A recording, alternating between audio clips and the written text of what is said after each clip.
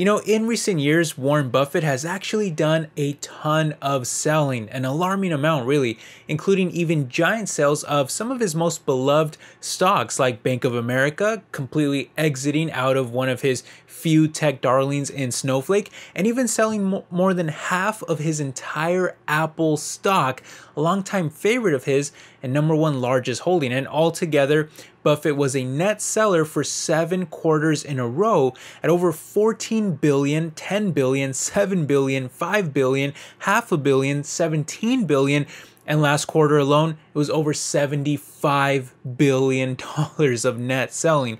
That is an insane amount from really someone like Buffett that has always claimed to be a very long term minded investor. So, this was, in my opinion, a very clearly bearish view on the market as he gradually withdrew well over a $100 billion out of the market in just the past couple years. And yet, despite all of that selling, there's actually one stock that Buffett has actually been pouring many billions of dollars into every year. So, the complete opposite of what he's been doing with the rest of his portfolio, and that is in his own stock, Berkshire Hathaway, his own holding company run by the CEO Buffett, where we can see that share repurchases from just 2019 to last year, so in the past five years alone, they bought over $73 billion worth of their own stock. And even in the first half of this year, they already bought another roughly 3 billion on top of that too. So what exactly is going on here? Well, I think Buffett likely feels that the market is a bit overvalued at the moment. And look, I don't blame him. I also have similar feelings about the market right now, which continues to break new record highs. And so taking some profits off the table does make sense here, especially after the huge run up that we've seen since 2020. Now, on the other hand, of course, like I showed you before, they've been buying tons of their own stock too. So why are they more bullish on Berkshire Hathaway stock versus the rest of the market? Well, it's actually very simple. Now, a lot of people don't even know about this, but prior to 2018, Berkshire had a rule in place where they would not be allowed to buy their own stock if the price was 120% of its book value. By the way, book value is the assets minus the liabilities. And so if the stock price was a lot higher than that, like over 20% more, then Buffett considered that to be overvalued and thus it wouldn't really be a good investment to their shareholders, so they wouldn't buy the stock. Now, under that rule, they would have to wait until the stock price came down under those levels, at which point they would consider it to perhaps be undervalued at that time, and thus they could actually buy the stock if it was a good deal like that. However, in 2018, the board of directors changed that rule to where now they could actually buy the stock regardless of that metric. And ever since then, Buffett has essentially gone ham on their own stock, scooping up billions of dollars worth. Now, why would he do that? Well, I think there's two primary reasons. Number one, Berkshire has been flushed with cash that I think they didn't really know what to do with. Typically, they like to either buy stocks or even acquire smaller companies, but with the market soaring as much as it has, they might not feel like there's attractive enough prices out there in the open market to be spending that money on. And as a result, in fact, you look back to 2018, ever since that year, they've had well over a hundred billion dollars in cash, which has only gotten larger to where last quarter it was north of 276 billion dollars, and that's even with all the spending that they've done on Berkshire stock. So I just think that they were kind of left in a situation here where you lift that restriction and you have all of this insane amount of cash from all the selling that they've been doing in the market, market rising, they've been cashing in profits. So they, they've got so much cash that it just makes it so much easier now to buy their own stock, which leads me to reason number two, and that's that assuming you have a good enough business that you believe in, well, buying your own stock generally makes sense. It's generally considered a good idea because it gives you really more control uh, with less outstanding shares out there in the open market. Plus, it gives more value to your shareholders by improving your earnings per share, because, of course, less shares means more earnings per share, thus also making the stock more attractive to more value oriented investors as well.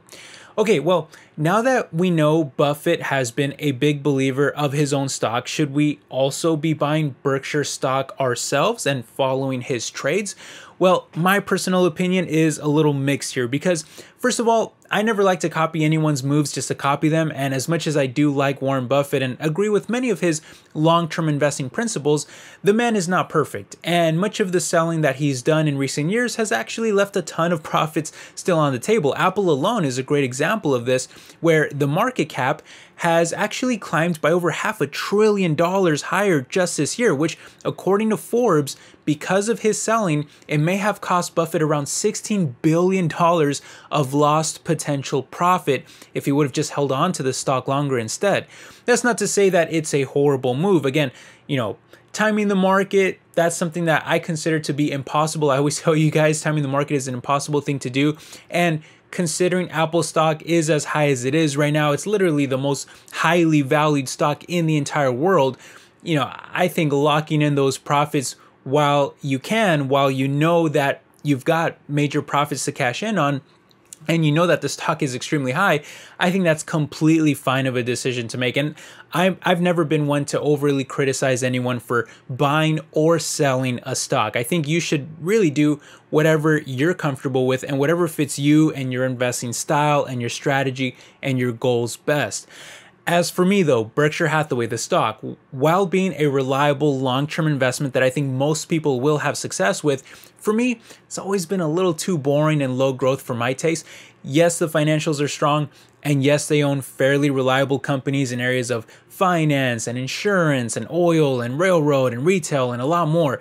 But for me, I've always been more attracted to higher growth, maybe technology stocks or other areas that just excite me a little bit more, which even in the case of like Apple, which is still Berkshire's largest investment, well, it's just so highly valued at this point that I don't see a lot more gains to really be had from it long term. Although I do own Apple stock myself just for their insane size and profitability and sticky ecosystem of products and services. But Berkshire, though, just kind of feels like I don't even know how to describe it. I guess I'd feel like I'm kind of buying into like a boring ETF if that makes sense. I know that's not a great comparison, but that I guess that's how I would describe it, which by the way, Berkshire stock itself is also trading at a record high right now with a P ratio that is about 100% higher than the sector on an adjusted basis and it's even the already the number 9 largest company in the entire world too by market cap. So that just doesn't really get me all that excited at those levels. Not to mention that my interest would likely drop even more whenever Buffett finally decides to step down from CEO, which at age 94, I gotta imagine that that's gonna happen very soon. And I hope I'm not sounding overly bearish on Berkshire when saying this, because I do actually think that it's a solid stock overall. But the other thing that annoys me a little bit about Berkshire stock is how little analyst coverage it seems to get. For example, one of my favorite websites for analysis is Yahoo Finance, a super popular site, and yet there's only two analysts even covering the stock there, which by the way, they only project revenues to grow by around 5% or less per year going forward. Now, contrast that coverage with most other stocks out there like I don't know. I mean, I guess we could look at Apple since we've been talking about them already, but they have like over 40 different analysts covering the stock. So with Berkshire, I'd have to stay much more on top of it myself and maybe even calculate my own projections for future growth, which can be really hard to do when you're looking at essentially a large conglomerate like this that owns other companies and stocks and is therefore heavily dependent on how all of those companies perform too. And that's just too much of a headache for me to keep track of and uh, analyze and try to project all that stuff. So for a stock that again, I don't think is super cheap or any kind of screaming buy at these really high levels, I just feel like I'd rather invest elsewhere myself. But again, that's just my personal opinion. And I can still understand why others would want to own the stock. So I'd love to hear what you guys think down below in the comment section. Do you like Berkshire stock? And do you agree or disagree with Buffett's moves here? Does it make you feel any different about him being a long term investor, knowing that he's selling so heavily? Or do you just think that those are good ideas because the market is up so much? I'd love to hear your thoughts, guys. Drop them down below in the comment section. But I hope you enjoyed this quick video.